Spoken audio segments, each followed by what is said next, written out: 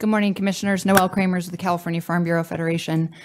I wanted to take the opportunity to speak about mountain lions. I know you are not receiving the evaluation today, um, but it's an important issue to our members. Um, according to USDA, mountain lions are the number two predator of cattle and calves and the number th three predator for sheep and lambs in California. So they do um, have a significant impact on our livestock producers. Since 2001, according to the department's data, 3,500 depredation permits have been issued. So if mountain lions are listed under CESA, those producers in on the central coast and, and, south coast would no longer be able to get depredation permits to deal with problem mountain lions. This creates the, a management challenge not only for livestock producers, but also for the department. So for example, Kern County is proposed to be both within the ESU and outside of the ESU. And given mountain lions' significant ranges, you could have mountain lions that reside in the ESU but leave the ESU and kill livestock. And so it's unclear how management would take place um, on the edges of the, those areas. Finally, I'd just like to remind the Commission that Section 4800D of the Fish and Game Code um, prohibits both the Commission and the Department from adopting regulations that are in conflict with the rest of the code sections dealing with mountain lions. That was put in place by the voters of California in 1990 with the passage of Prop 117. And so it's our belief that you don't have the authority to list mountain lions under CESA. So when that decision comes before you and it's appropriate, we urge you to reject the petition. Thank you. Good morning, President Sklar and Commissioners. I am Erica Sanko with the California Wool Growers Association. We represent all the sheep and goat producers throughout California. And I'm here to remind the Commission regarding item number six that we are opposed to the petition to list the mountain lion as threatened or endangered. We concur with the comments submitted today by California Farm Bureau Federation and prior comments submitted by both California Farm Bureau Federation and the California Cattlemen's Association.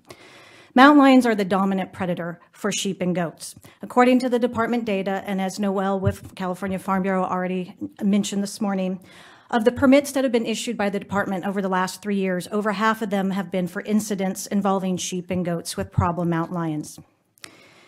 We believe that Prop 117 gives our members the right for the department to issue a depredation permit to deal with a problem lion when their animals are either injured or killed by a mountain lion. By if the commission chooses to go ahead and accept the petition and list the mountain lion as threatened or endangered, our members will lose this right. We also believe this is another way of taking away a tool for managing predators from the toolbox, which continues to shrink for our producers in the state of California. There's very few tools available anymore for managing predators. As stated in our letter to the Commission dated July 30th, we do not believe the Commission has a legal standing to list the mountain lion as either threatened or endangered. And if the Commission were to list the mountain lion as such, we believe that it will violate Prop 117. So for the sake of time, I will defer to our opposition letter and the comments and concerns stated in that letter to the Commission. That again was dated on July 30th. Thank you. Good morning, President Sklar and members of the Commission. My name is J.P. Rose, and I'm an attorney with the Center for Biological Diversity based in Los Angeles. As a land use attorney, I wanted to highlight a few points relevant to the Mountain Lion CESA petition. Short-sighted land use decisions continue to be a major threat to Southern California mountain lions. In Riverside County, the proposed 200-acre Altair development would degrade the last viable linkage between the Santa Ana Mountains and the Eastern Peninsula Ranges. The Santa Ana mountain lions are already hemmed in by existing development and the I-15 freeway, which has led to dramatic declines in genetic diversity. The genetic diversity of these lines is now nearly as low as the endangered Florida panther. The Altair development was nonetheless approved by the city of Temecula in December 2019. Prior to approval, DFW warned the city that the project would irreparably harm the Santa Ana mountain lions and conflict with the local habitat conservation plan. The Center, Mountain Lion Foundation, and other groups filed suit against the development in early 2017. On November 22nd of this year, the court tentatively ruled that the Altair project's environmental re review did not properly analyze impacts to mountain lions, nor demonstrate consistency with the Habitat Conservation Plan. However, this ruling is not yet final, and the City of Temecula could still attempt to reapprove the same project even after the final ruling. In LA County, officials also continue to approve large-scale development directly in line corridors. For instance, the 1,000-acre North Lake development was approved by the LA County Board of Supervisors in May 2019.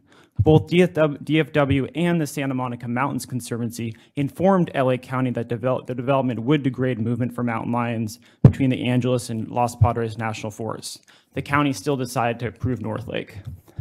CESA listing would give DFW a powerful tool to push for reasonable modifications to development proposals so that they can move forward in a manner that does not threaten struggling mountain lion populations. Another issue I'd like to briefly mention is vehicle strikes. Southern California and Central Coast mountain lions continue to needlessly die due to a lack of wildlife crossings on highways. In September 2019 alone, at least three mountain lions were reported to have died while crossing highways. These deaths are part of a larger trend. Around 100 mountain lions are killed by vehicle strikes in California each year. CESA listing would help, would help on this and give impetus to Caltrans to better ensure transportation projects incorporate wildlife crossings for mountain lions. In addition to benefiting mountain lions and other wildlife, wildlife crossings would protect people by reducing vehicle wildlife collisions. Thank you, President Sklar and members of the Commission for your close attention to these issues, and we look forward to the Department's evaluation and your forthcoming decisions on the petition.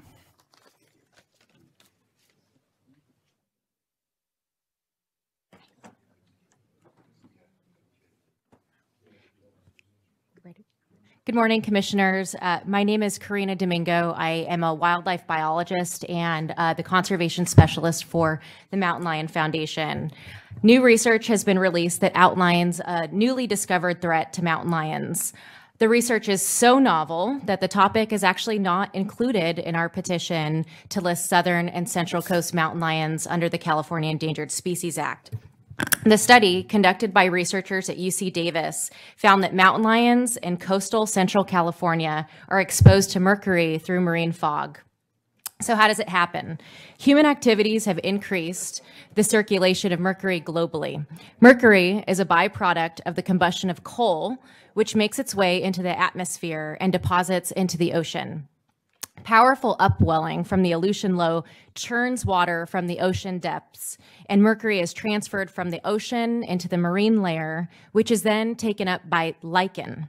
Lichen is then consumed by deer, the primary prey of mountain lions. So, methyl mercury makes its way from the ocean to terrestrial food webs into an apex predator. It sounds like something straight out of a sci fi movie, but unfortunately for mountain lions, it's reality. One lion analyzed in the study had a fur sample with high levels of mercury. And at the time, this puma was found with no apparent cause of death.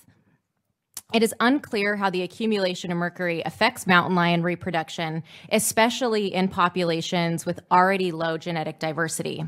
It is also unclear how mercury may interact with other environmental toxicants, such as anticoagulant rodenticides, and more research is needed in order to further understand the potential synergistic effects of the two.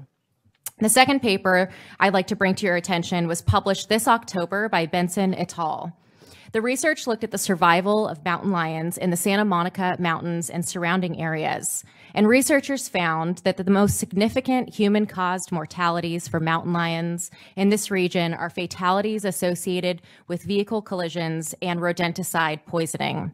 The authors clearly state, quote, given the potential for local extirpation of the Santa Monica mountain lions and other isolated populations in the Los Angeles area, efforts to reduce mortality from human causes as well as restoring landscape connectivity are critical for the persistence of this top predator in the human dominated landscape of Southern California, end quote.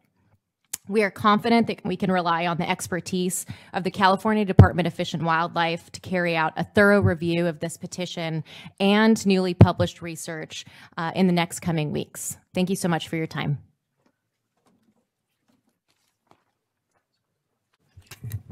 Once again, I'm still Dennis Fox. And um, this shows the problem with the Endangered Species Act that did not happen with the elk. And that is using the using the Endangered Species Act or what's in people's minds about endangered species for something that does not have to do with wildlife. In this instance, management was taken away from the department. I was on uh, CalFed, and uh, we had a person from the University of California, Los Angeles, gave us a little talk on what happened with as a result of of the mountain lion. It ate off middle management. And when you got rid of middle management, then you started having problems. He said first one was the building started tipping in because of the ground squirrels. Nothing's taking care of them. The second thing that happened was from the ground squirrels, we get hantavirus and then we get plague. One of the benefits of the mountain lions. There has been a lot of money raised. It took from the department and diverted it elsewhere to uh, the tune, I think it was $28 million for 20 years. It was taken from wildlife and given to acquisition of land for the mountain lions to the extent that now they need a woodsy overpass. So, uh, something to think of. It's, it's a lack of perspective. Some people, have, but, but it has raised money. And also, it's eaten the deer, so you get rid of those. And there are people that really, as H.L. Mencken said, cannot stand other people having a good time. Thank you.